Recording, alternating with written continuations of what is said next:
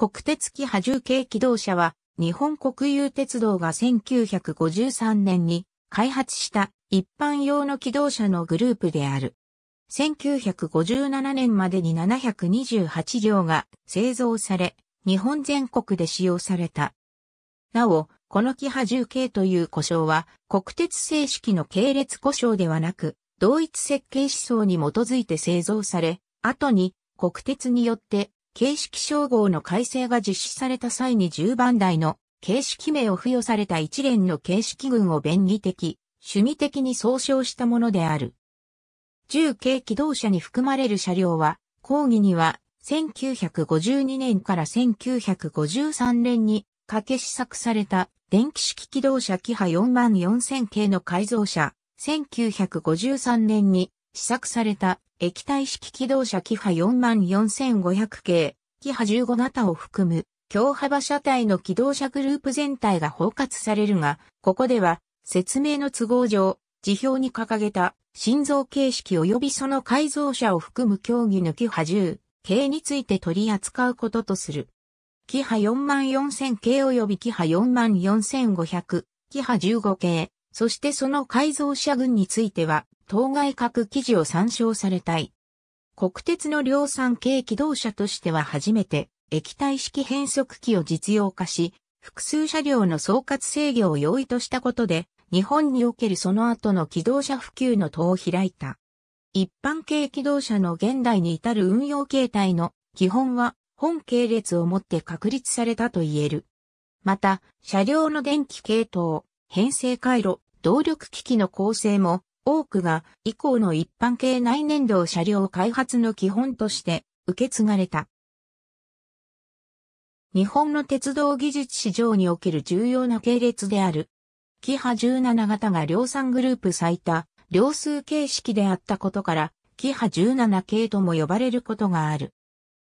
キハ40系機動車の配備とともに始まった本系列の急速な淘汰の中でも単行運転の可能な両運転台の各形式の一部が遅くまで温存され、私鉄への譲渡やローカル線ブームでファンに注目され始めたこと、またこれを取り上げた鉄道史密使がキハ09型やキハ15型など試作車改造グループから転用された郵便、荷物などの合わせ作り車をも合わせ、車体幅の狭い初期の一般軽機動車を講義に、10代、形式機動車と呼び始めたことなどから、1970年代末を境に10系の故障が広まり、定着していった。旧形式は1957年4月の称号、改正以前の形式。うちは、計画数。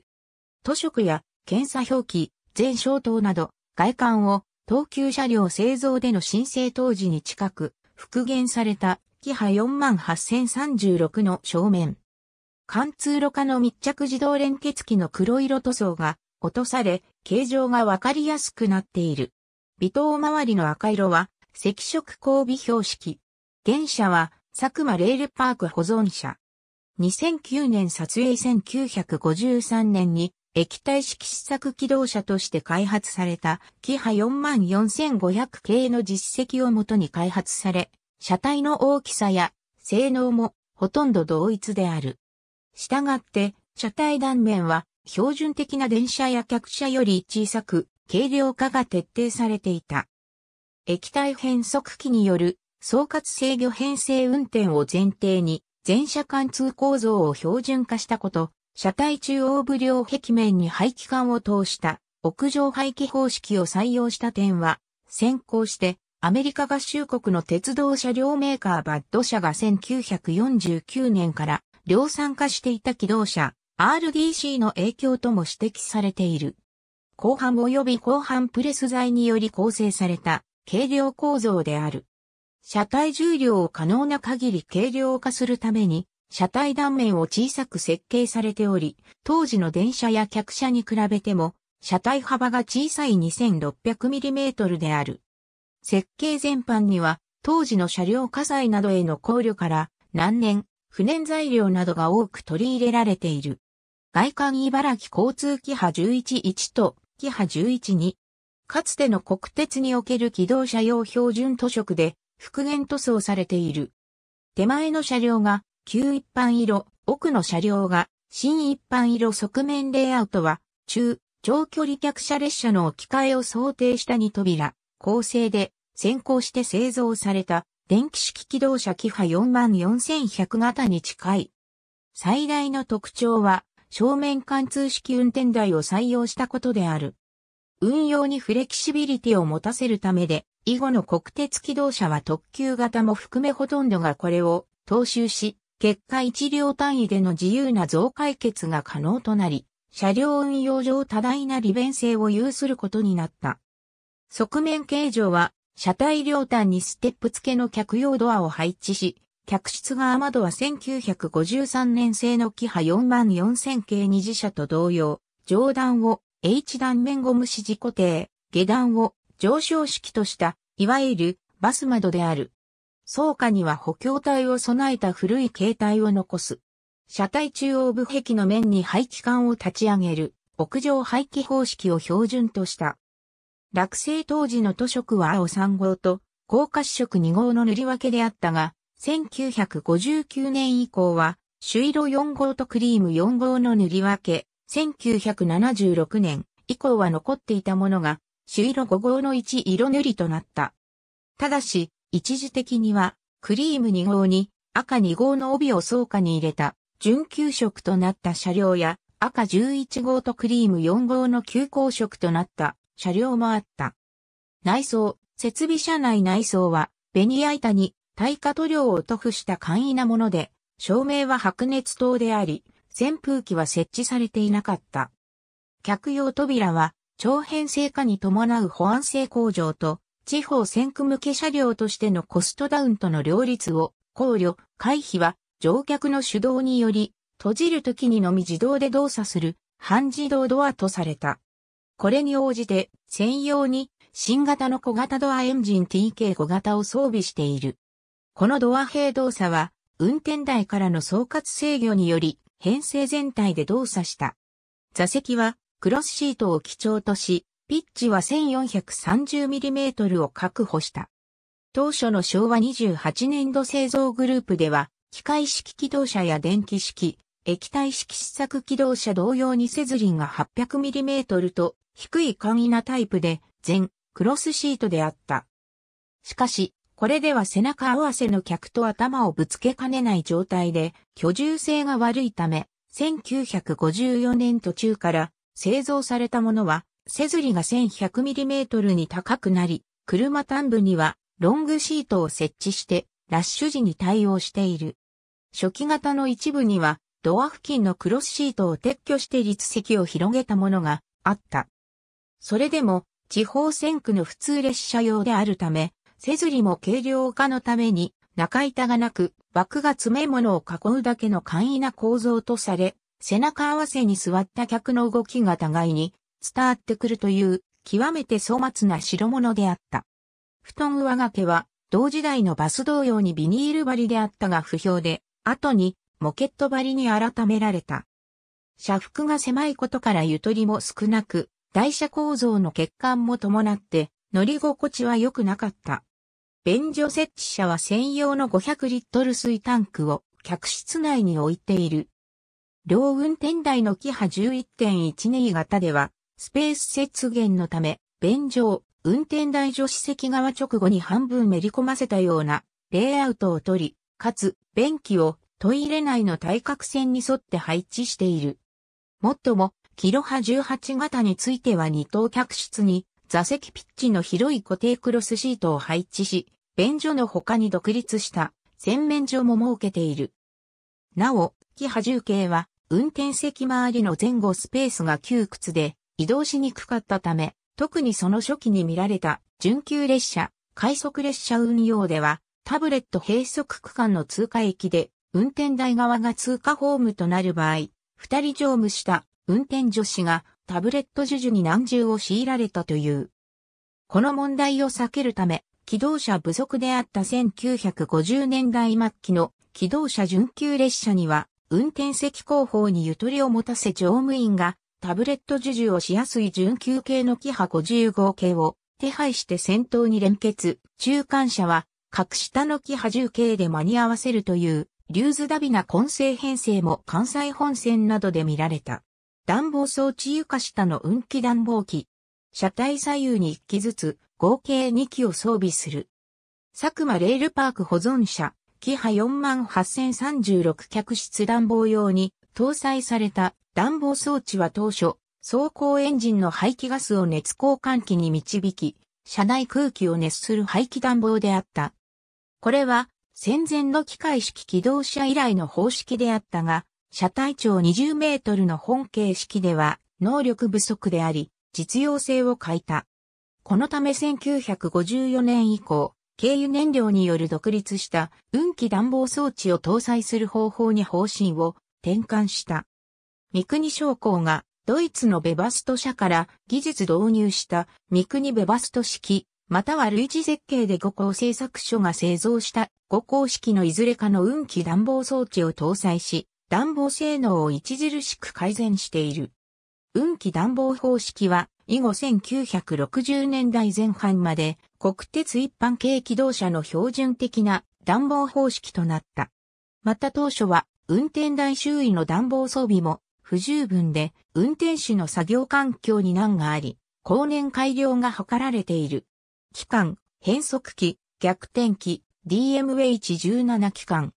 佐久間レールパーク保存車、キハ 48036DMH17 バイト型ディーゼル機関に TC に液体変速機と DT19 系台車を組み合わせている。変速機は後に DF115 も用いられた。エンジンと変速機は車体床下に吊り下げられた機関台枠に搭載されており、ここから取り出された動力は、プロペラシャフト、ギアボックスと一体化の上で台車のトランサムに2本の平行リンクで結合して指示されるベベルギアと平らギアによる逆転機、及びこれと一体化された平らギアによる最終減速機を経て台車の車体中央より一軸を駆動する構造であった。この基本構成、特に逆転機の指示機構は戦前の日本において機動車開発で最先端を走っていた日本車両製造本店が1920年代末期に考案し、国鉄ではキハ36900型で初採用したものである。これは、その簡潔にして合理的な構造ゆえに、日本の機動車における駆動システムの標準方式として国鉄、私鉄を問わず広く普及し、1960年代末に二軸駆動のために逆転機を最終減速機と分離した新系列機動車が誕生するまでの日本で製作されたボギー台車を装着する機械式機動車と液体式機動車のほぼすべてに採用され、21世紀に入った現在もなお、その一部が引き続き使用され続けている優れた設計である。もっとも、その反面構造上の制約から二軸駆動が困難という問題があり、本系列でも一台車一軸駆動が踏襲されている。ブレーキ、自動扉開閉に利用される圧縮空気は、一エンジン使用各社は、機械式機波42000系以来の C600 計算、気筒空気圧縮機で、エンジン側面に装備され、ベルト駆動される。2エンジン仕様のキハ44600.44700はエンジン1台あたりの負担を下げるため、キハ41000型に用いられていた、より小型の C400 系空気圧縮機を装備して2台並列作動させる方式をとっている。台車台車に仮装された逆転機の日本リンク部分と遠隔操作で逆転機を切り替えを可能とするエアシリンダ。キハ 48036TR49 系、台車。佐久間レールパーク保存車、キハ48036本系列の台車は、キハ44500型で採用された、軸距 2000mm の DT19TR49 台車が引き続き採用された。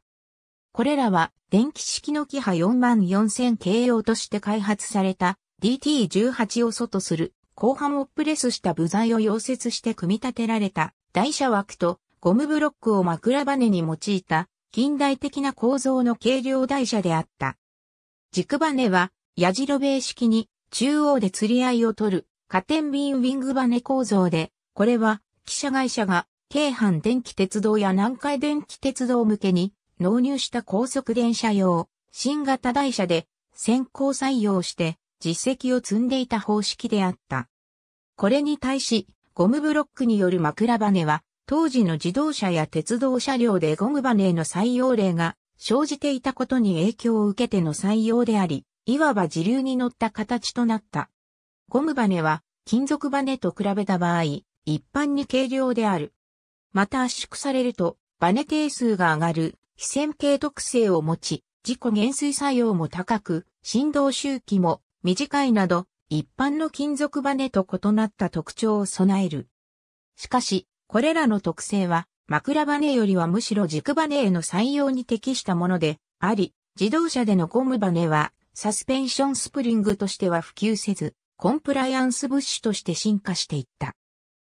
実際、乗り心地を支配する枕バネにゴムブロックを用いた、これらの台車では、DT19TR49 の設計時に、金属バネとの違和感を低減するため、軸バネの容量を大きくするなどの対策を講じたが、化石採時の安全率を見込む必要から、むやみにバネ定数を下げることもできず、いずれも乗り心地はやや固めで、低速域、特に制動時に速い上下動を伴うものとなり、貧弱な座席ともども評判は芳しいものではなかった。このためか、後に一般用機動車の標準台車となった DT22TR51 に交換された車両が一部に存在するが、大半は DT19TR49 装備のまま廃車まで使用された。最後まで営業運転に用いられていた茨城交通の車両も、台車は DT19TR49 のままであったが、レジンシューが採用されたため、制動時の振動問題についてはやや改善されていた。ブレーキ、制御機器ブレーキはキハ44000系以降のシステムを踏襲し、電車用や客車用として一般的であった映動差弁を使用する元空気ダメ管式自動空気ブレーキを機動車用とした DA ブレーキが採用された。これは1932年から国鉄機械式機動車で標準的に使用されてきた直通ブレーキ、自動空気ブレーキ兼用の GPS ブレーキでは3両編成が上限となり、それ以上の長大編成での運用を想定する本系列などでの使用には適さないと判断されたために採用されたものである。このブレーキと総括制御システムの併用により、客車列車に近い長大編成での運転が可能になった。最も新規とは言ってもブレーキ制御弁は M23 弁、三道弁も A 動差弁と機器の各構成要素は電車用 A ブレーキと同一であり、実質的には A ブレーキに機動車用としての名称を与えたに過ぎない。また、A 動差弁そのものは1931年のキハに36,450型でが1として、すでに採用実績があり、その意味ではようやく1930年代初頭の電車に使用が追いついたと見ることができる。ブレーキシリンダについては、従来同様の車体装化式であるが、電気式44000系以降の流れを組み、ロットを開始1シリンダで1台車を制動する1両にシリンダ仕様とした。1949年設計の80系電車、等と気を1にした保安性配慮の改善である。また、編成各社に搭載の空気圧縮機の負荷分担を均等にするため、アンローダ弁を一斉制御する機能が付加されている。本系列で確立されたこれらの基本仕様は、以後、空気バネ台車装備の車両を除く DMH17 系エンジン搭載の国鉄液体式機動車のほとんどに踏襲された。主幹制御機は新開発の MC19 型を装備する。エンジンの燃料噴射量及び液体変速機の動作を電磁弁で遠隔制御する基本は、キハ44500系向けに開発された MC18 型から踏襲し、新たに装備した自動扉の扱いに対応する電磁弁回路を追加したものである。以後、国鉄末期までの多くの機動車で標準採用された。キハ10系の量産申請グループの特徴として、系列内の型運転台車の比率が非常に高く、後続系列ではほとんど見られない運転台なし中間車も存在する点が挙げられる。開発時は総括制御機能を活かし、従前の客車列車編成をも置き換えられる長編成組成での運用を想定していたことによる。実際に運用すると、機動性確保の面から運転台を減らしすぎた車種構成は得策でないと判断され、遅れて両運転台車が新たに製造された。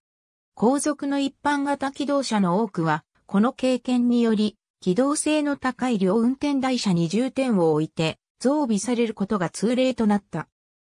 1953年の計画時点では、三等座席と郵便室、荷物室の合わせ作り車である、片運転台車、機配ユニ4万8000系や、両運転台の郵便荷物合わせ作り車、機ユニ4万8100系も企画され、特にキハユには車端の荷物室側を非貫通構造にする予定であったが、旅客車両の機動車化を優先するコスト、配分方針から、これらの申請は取りやめられた。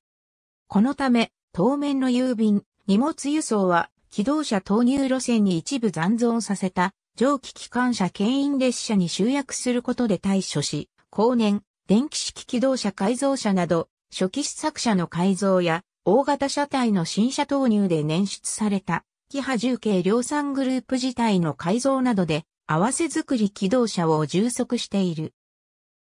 本系列の生産当初は、当時の日本国内の主要鉄道車両メーカーのほとんどが参画したが、以後4年間の増備期間を通じて生産を受注したのは戦前以来の中堅メーカーである新潟鉄工所、帝国車両と戦後後発メーカーである東急車両製造の計算車で、これらのメーカーは中途増備から参画した富士重工業とともに1960年代まで国鉄機動車の増備に多く携わり、さらに新潟と富士重の2社は機動車重点メーカーとして1987年の国鉄分割民営化までその任を負った。最終増備となる1956年度のキハ4万5000系増備では、国鉄向け車両について、貨車や交代貨客車などの納入実績しかない輸送機、工業や飯野重工業が参加したのが得意な事例である。キハ10系の申請形式は以下に示す旧形式である。キハ17型キハ17型は、便所付き編運転台車で、1953年から1957年にかけて402両が製造された本系列の機関形式であり、日本初の本格的量産型液体式機動車である。北海道を含む日本各地に配置、運用された。初期車は全座席がボックス式、クロスシートであったが、1954年製の206以降は乗客の乗降の円滑化を図るため、客用扉付近のクロスシートがロングシートに変更されるとともに、シートの背ずりが高く改良された。また、1956年製の321体については、車体強度の向上が図られた関係で、トイレの窓が H ゴムによる固定式となり、トイレ及び水タンク室の補強体が省略され、客室幅が 12mm 広げられた。客室の拡幅に関する設計変更は同時期に製造されていた他形式でも行われている。形式間改造については、11両がキユに17型に、5両がキに17型に改造された。老朽廃車については1973年から始まり、1981年までに全車が除籍された。うち4両が島原鉄道に譲渡されたが、1986年までに全廃されている。キハ16系キハ45500系キハ16型は、便所なし編運転台車で、1954年から翌年にかけて99両が製造された。日本各地に配置、運用された。車内は、全車がキハ17206体と同様の客用扉付近にロングシートを配した背ずりの高いタイプとなっている。定員は106名である。形式間改造については、8両がキハユ28型に改造され、そのうち6両が Q28 型に再改造されている。廃車は1974年から始まり、1980年までに全車が除籍された。うち4両が島原鉄道に譲渡されたが、キハ17型と同じく1986年までに全廃されている。キハ10系水島臨海鉄道キハ35系354、キハ10型は便所なし両運転台車で1955年から1957年にかけて70両が製造され、北海道を除く日本各地で使用された。定員は92人である。形式間改造車はない。老朽廃車は1975年から始まり、1981年までに全車が除籍された。両運転台車で便所がなく、短距離路線での使い勝手が良いことから、地方私鉄への譲渡も多かった。7両を譲り受けした水島臨海鉄道を筆頭に、南部縦貫鉄道、鹿島臨海鉄道、筑波鉄道、茅鉄道の計12両が譲渡されている。キハ11系キハ11型は、便所付き両運転台車で、1955年から1957年にかけて74両が製造された。このうち48,016から48,026の11両は、感知向けの対艦対設装備で北海道に申請配置されており、1957年の海番の際は100番台に区分された。定員は88人である。外観上の特徴として、客用扉下部の明かり窓がないことが挙げられる。これは、この後北海道用として作られた、キハ12、キハ21、キハ22、キハユニ25の各形式にも引き継がれており、同様に明かり窓はない。北海道地区配置の100番台車は道北など、国間地での液体式機動車運用の試金石となり、冬季の積雪時でも液体式変速機のトルク増大能力と小型スノープラウによる軽排泄能力によって機動車運行が可能であることを立証した。しかし、耐幹性が不十分であり、耐幹耐雪性能を強化したキハ12型が後を追って製造されたため、ほどなく道外に転用された。形式間改造としては、1965年度に2両、1968年に1両の計算量がキユ21型に改造されている。老朽廃車は1975年から始まり、1980年までに全車が除籍された。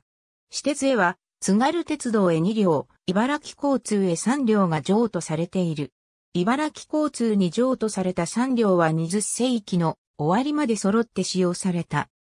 1両は映画、鉄道員撮影用のカットボディとして解体。1両は廃車後、キハ48036として、佐久間レールパークリニア、鉄道館に収蔵、展示、残る1両については21世紀に入っても、車席を保って営業運転に当てられた後、キハ1125として2007年10月14日に開館した鉄道博物館に収蔵、展示されている。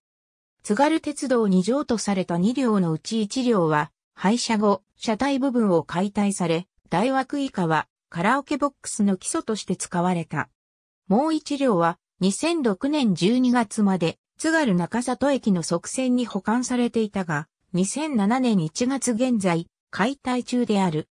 キハ12系キハ12型は、国間地向けの便所付き両運転台車で、キハ11系100番台の耐幹性能不足に対処する目的で1956年に22両が製造され、全車が北海道内で使用された。定員は基本的な車体構造が同じキハ11型と同一である。キハ11系100番台との主な相違は、側窓が二重構造となったことで、従来の客室通常窓を外窓とし、それより内側に木製枠の二段内窓を装備した。下段内窓は二重窓の不要な季節には幕板内に収納できる構造である。またキハ11系100番台では乗務員室とその後部に食い込んだ便所の暖房につき、客室側から運気暖房の温風を大枠化経由で配管して送風していたが、管の屈曲による抵抗や保温の悪さから特に乗務員室が温まりにくく、運転手から改善が要望された。このため、デッキ床面を 75mm かさ上げし、台枠と床面の間に高さ 50mm の広幅早期ダクトを通す、よう変更、暖房の早期効率を上げた。当初はデッキ部の仕切り壁は設置されていなかったが、後年の改造により設置された。老朽廃車は1976年から始まり、1980年までに全車が除籍された。形式間改造車及び譲渡車は存在しない。浅田二郎の小説、鉄道員日本形式の続版となる、キハ1223を名乗る車両が登場する。この小説の映画化に際し、撮影用にキハ40系機動車を改造した。なお前述の通り、運転台のシーンでは、茨城交通のキハ111のカットボディが使用されている。キハ18系キハ18型は、便所なし中間車で運転台を装備していない。1953年から1954年にかけて31両が製造された。多脚機には北海道に渡るなど日本各地で使用された。キハ17型と同様、1953年度製造車はオールボックスシートであったが、1954年度製造車は客用扉付近をロングシートとしており、定員と窓割りが異なる。外観上も1954年度製造車は、戸袋窓が設けられており、1953年度製造車とは異なる。編成運転を前提に製造された形式であったが、運転台を持たないため、運転台装備車と連結しなければ、自走での入れ替え作業すらできず、機動性に乏しいという欠点があった。以後の国鉄では、優等車もしくは特急型を除いて、機動車の中間車は申請されなかった。運用上の制約の多い中間車ではあったが、形式間改造はキハ25型への一両のみであり、老朽廃車は1974年から1979年にかけて行われた。私鉄への譲渡車はない。キロハ18系、キロハ18型は一般軽機動車としては唯一の優等車で、便所、洗面所付きの中間車である。1954年に一次車、1956年に二次車の計8両が製造された。二次車は二等室に扇風機を設置したため、その取り付け部が屋根上に張り出している。定員は二等32人、三等62人である。一次車の5両は千葉地区への液体式機動車大量投入に際して製造されたものであるが、これは国鉄が本来機としたものではなかった。千葉県庁と千葉市役所から機動車にも二等車を連結されたいという強い圧力があり、やむなくこれに対処したものであるという。二次車の3両は当初関西本線準急列車向けに増備されたもので、扇風機装備は長距離優等客への配慮である。当初は2機エンジンのキハ50.5155と編成を組み、都市間連絡準急として運用され、名阪間を競合他線と比べ最も早い所要時間で結んでいた。2.3等号作り車であることから、当初は各地の準急列車に起用されることも多かったが、幅の狭い小型車体で2等室も固定クロスシートであるなど居住性が悪く、優等列車での使用には基本的に無理があったため、準急系機動車キハ55系の本格的な2.3統合作り車、キロハ25型が登場すると、準急運用から外され、1961年にキハユ15型へ6両、キニ15型へ2両が改造されて、形式消滅した。キハユ15型については、5両が旧25型に再改造されている。キハ50系キハ50型は、便所なしの片運転台車で、定員は110人である。勾配線区向けの協力系機動車の施策として1954年に2両が製造されたものである。キハ4万5000型よりも後に計画、設計された形式であるが、試作車であったことから、液体式機動車の試作車である、キハ44500系の続版となる、キハ44600型とされた。エンジン1機搭載の機動車は急勾配区間では出力不足で十分な走行性能を得られないため、DMH17 バイト型エンジンを2機搭載、各台車の内側軸を駆動することで総出力 320PS の二軸駆動としている。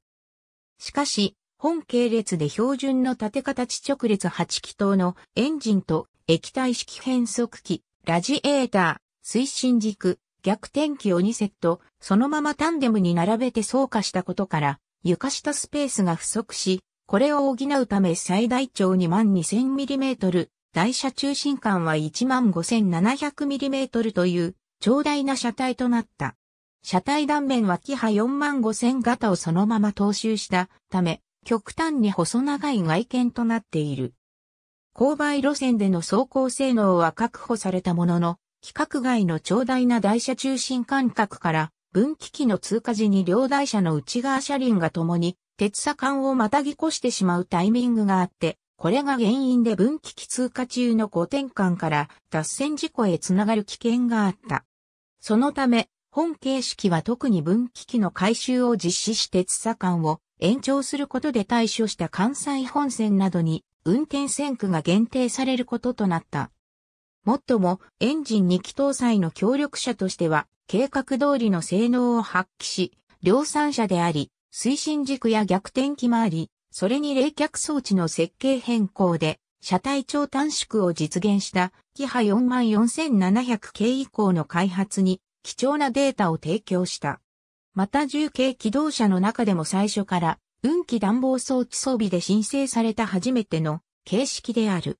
1961年にエンジン、変速機、推進軸、逆転機を1セット下ろして、キハユ27型に改造、形式消滅となった。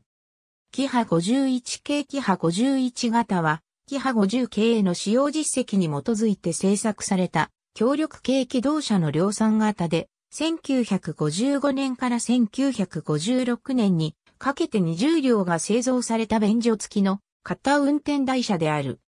キハ50型では車体が長すぎて運用に支障を生じたことから、床下機器配置が見直され、プロペラシャフトの短縮、ラジエーターの小型化などの措置が行われている。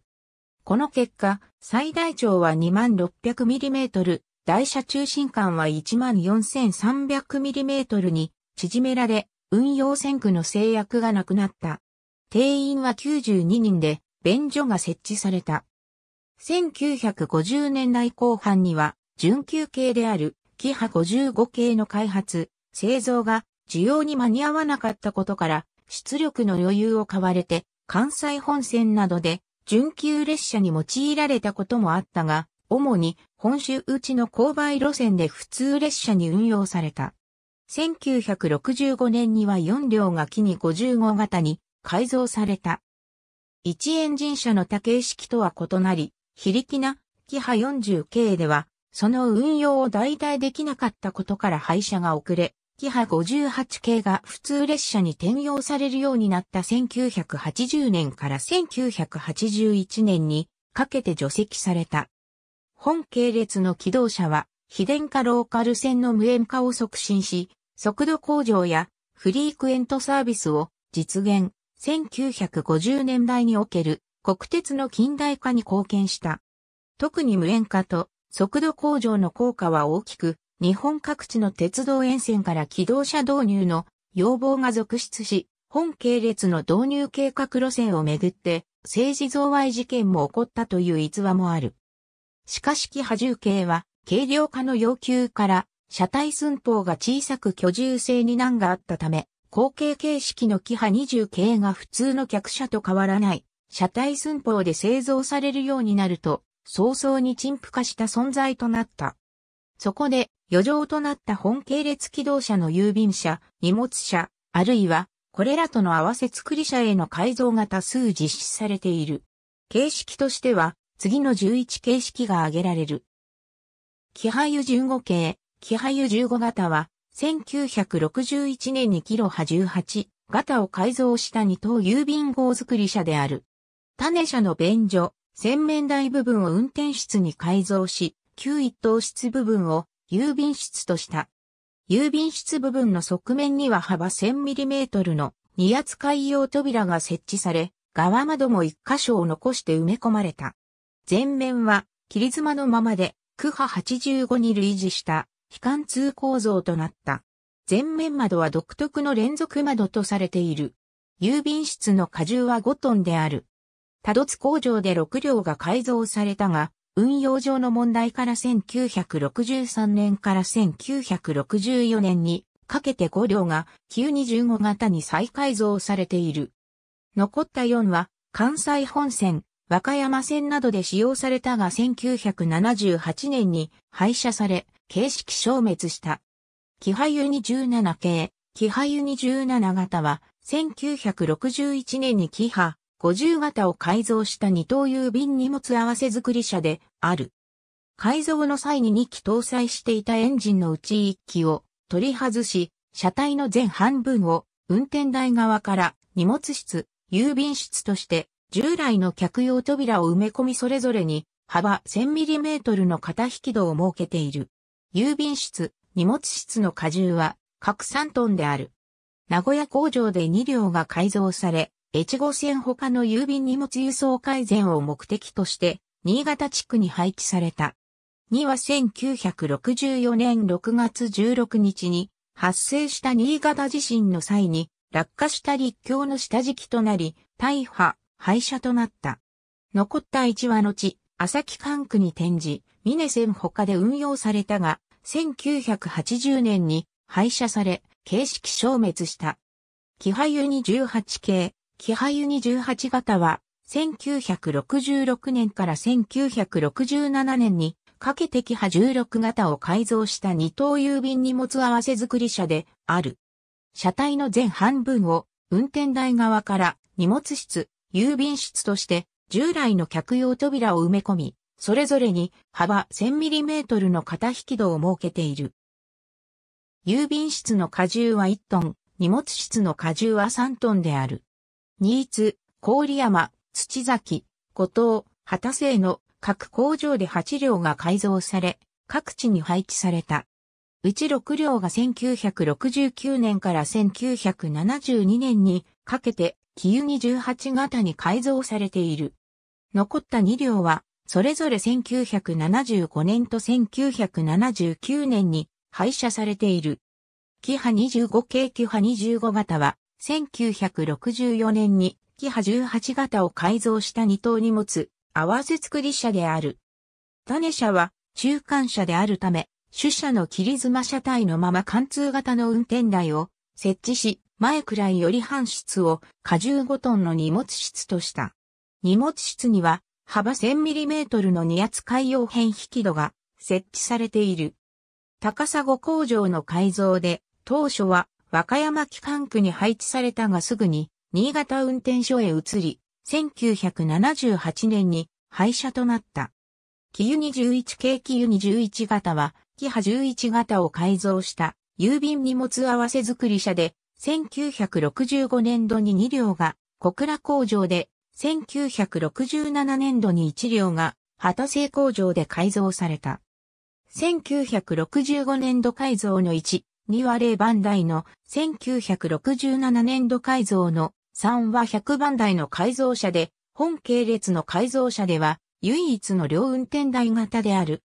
どちらのタイプも基本的な車体形状は変わらず、従来の客用扉はすべて埋め込まれ、車体の前位寄りを郵便室、後位寄りを荷物室とし、郵便室には幅 1000mm の型引き戸を、荷物室には幅 2000mm の両引き戸を設けている。1.2は当初は千葉機動車に配属されたが、暴走地区各線の電化により1が岡山機動車区、2が豊岡機関区に転属後、1980年に廃車。3については、広島機関区に配置され1981年に廃車されている。キユ25系キユ25型は、1962年度に、キハユ15型を再改造した郵便荷物合わせ作り車で、多度津工場で5両が改造された。従来の二等室を荷物室としたもので、荷物室には幅 2000mm の両引き戸を設けているが、従来の客用扉も損置されている。高松運転所に配置されていたが、1978年から1981年にかけて廃車された。キユ27型キユ27型は、キハ17型を改造した郵便荷物合わせ作り車で、1966年から1970年にかけて11両が改造された。改造時期により1.2と11から19に大別される。例バンダイは1966年に多度津工場で改造されたもので、前くらいに荷重3トンの郵便室、後くらいに荷重4トンの荷物室を設けており、郵便室は幅 1200mm の両引き戸、荷物室には幅 2000mm の両引き戸を設けている。後くらいの客室扉は損置され、事務室が設けられている。落成後は四国に配置されたが、後に1が北海道に転じて体幹設備を装備している。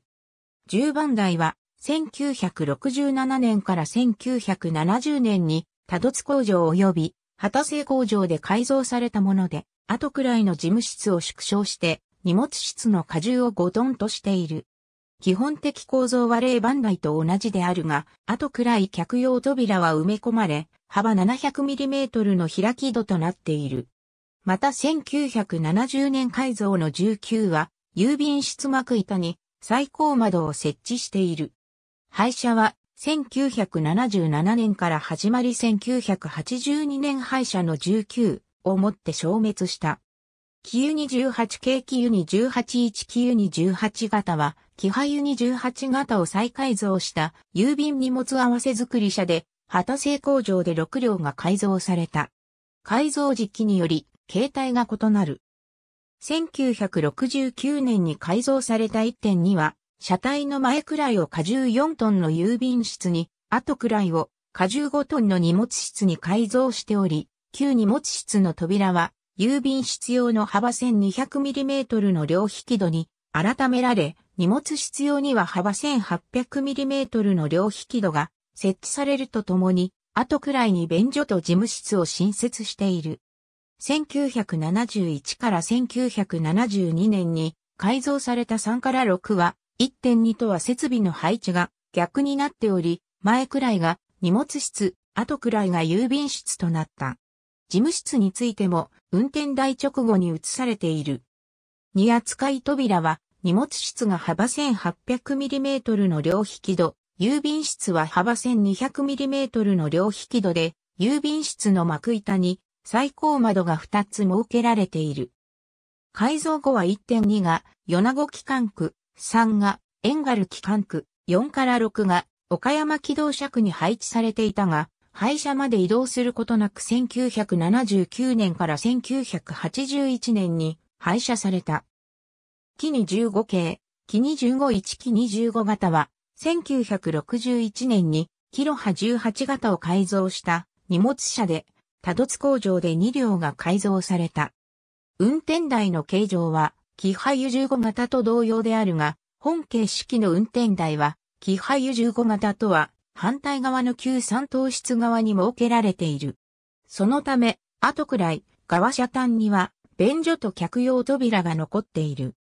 荷物室用の扉としては、幅 2000mm の両引き戸が2箇所に設けられ、荷重は11トンである。改造後は、高松運転所に配置され、廃車まで移動することなく1が1981年、2が1979年に廃車となっている。キニ17型キニ174キニ17型は、キハ17型を改造した荷物車で、多度津工場で1966年に4両、1967年に1両の計5両が改造された。後くらい、側車端には、便所と客用扉が残され、荷物室用の扉としては、幅 2000mm の両引き戸が2箇所に設けられており、荷重は11トンである。改造後は、高松運転所に配置され、廃車まで移動することなく1982年に廃車となっている。キニ55系、キニ554キニ55型は、キハ51型を改造した荷物車で、多度津工場で1965年に4両が改造された。従来の客用扉はすべて埋め込まれ、幅 2000mm の両引き戸が2箇所設けられた。車体が長い分、荷物用扉間の窓が木に17型より1個、多い3個となっており、荷重も1トン、多い12トンである。改造後は、水戸機関区に配置され、常磐線の荷物列車として使用された。前年に1エンジンの木に16型が収益していたが、高密度ダイヤの常磐線での運用は、出力不足による加速力不足が問題となった。このため代替車として2エンジンのキハ51型を種車にした本形式が充当されたものである。本形式はキハ10系としては最も遅くまで使用され、廃車は1984年であった。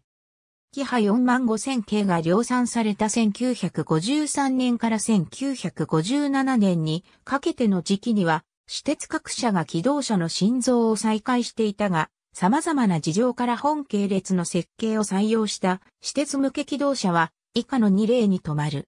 1953年に日本車両製造、帝国車両工業でキハ4501から4503.4505の4両を製造。DMA117 バイトエンジンに TC に液体変速機、それに DT19TR49 台車と同年製造のキハ4万5000系の機構をそのまま導入した。もっとも、車体は構造面では同型に準ずるものの、外観はむしろ前世代のキハ4万4500型を両運転台化したものに近く、窓配置 D1D8D1D でつま面デザインは2枚窓のいわゆる湘南型となっていた。1954年8月に川崎車両でキハ301から303を製造。キハ48010型に類似の両運転台車であるが、本形式製造の時点ではキハ48010系、第一陣は竣工しておらず、キハ45500型をベースとして、これを単純に両運転台化して設計された。このため車体長がキハ48010型よりも 30mm 短くなっているほか、窓配置も微妙に異なる。また、台車は DT19TR49 で国鉄仕様と同等であったが、新造時には三菱重工業 DA12 リットル P エンジンに新型コンバータ DB115 液体変速機を搭載し、後に DMA117C エンジンと新構造機 TC に液体変速機という標準的な組み合わせに変更された。南薩鉄道が鹿児島交通に社名変更した後も形式名は引き継がれ、1984年の枕崎線廃線まで使用された。なお、鹿児島本線移住院駅西鹿児島駅への直通乗り入れ運転にも充当されたため、中途から国鉄型 ATS を搭載した。国鉄キハ10型が譲渡された南部縦貫鉄道キハ104なお、国鉄時代に台車が DT22TR51 型に交換されている島原鉄道キハ4500系機動車に関するカテゴリー、南薩鉄道キハ300系機動車に関するカテゴリー。ありがとうございます。